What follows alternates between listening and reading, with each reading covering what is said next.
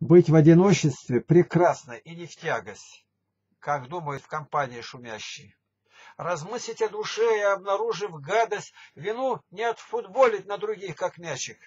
Душа в младенчестве так мало сознает, как хорошо быть одному совсем.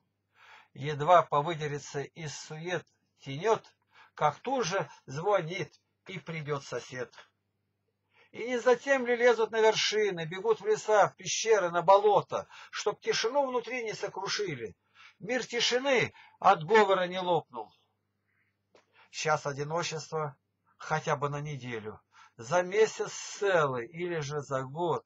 Забыть о всем, что вот как надоело, за горло давит и заботой жжет.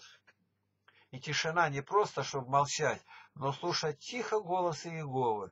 Творца Вселенной. С ним на свидание час сподобились, а может, более он приготовил. Не одиноки мы, когда совсем одни, на клавших, на клавишах в душе следы Иисуса ищем. Святая дума с небом нас роднит, ведь в одиночестве изысканная пища.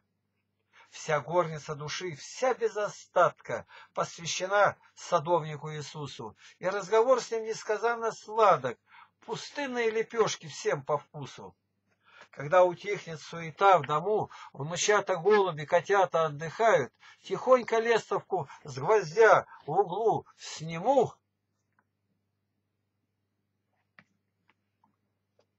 и покидаю мысленно всех в этой хате и столько полноты, лишь был бы ты. Творец к творению снизошел, склонился. Пора стряхнуть вериги суеты и оторваться от всего, что низко. 22 декабря 2006 года.